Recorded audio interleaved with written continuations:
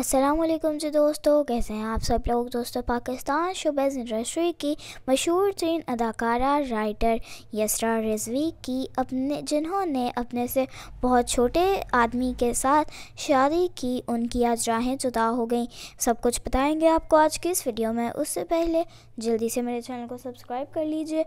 Video को without skip किए, last तक ज़रूर देखिएगा। दोस्तों, यसरा रिजवी जिन्होंने अपने से बहुत छोटे लड़के से शादी की थी, जिस पर लोगों ने इनको बहुत ज़्यादा शदीद तनकीद का निशाना बनाया था, लेकिन उसके बाद इनका एक क्यूट सा बेटा हुआ, जिस पर ये दोनों ही बहुत ज़्यादा खुश थे।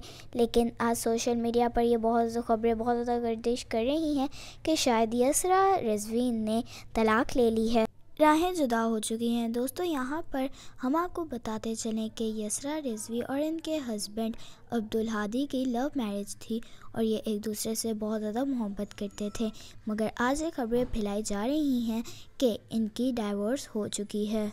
दोस्तों, यसरा रिजवी जो कि एक बहुत अच्छी अदाकारा हैं, इन्होंने बहुत से कामयाब तरीन ड्रामों में काम किया हुआ है, जिसमें मन के मोती, वो दोबारा थोड़ा सा आसमान और उस्तानी जी दोस्तों, वैसे तो ये बहुत ज़्यादा अफसोस की खबर है कि यसरा रिजवी, जिन्होंने काफ़ी अरसे के बाद एक और शादी की थी और इनके दरमियान फिर अलहदगी हो गई। हमारी अल्लाह ताला से दुआ है कि ये रूमर्स ही हो और इनकी डाइवोर्स ना हुई हो। दोस्तों, आप भी ये दुआ ज़रूर कीजिएगा और शुबेज़ इंडस्ट्री से मज़ीद अपडेट्स के लिए मेरे चैनल को सब्सक्राइब कीजिएगा। स्टे अल्लाह हाफिज़।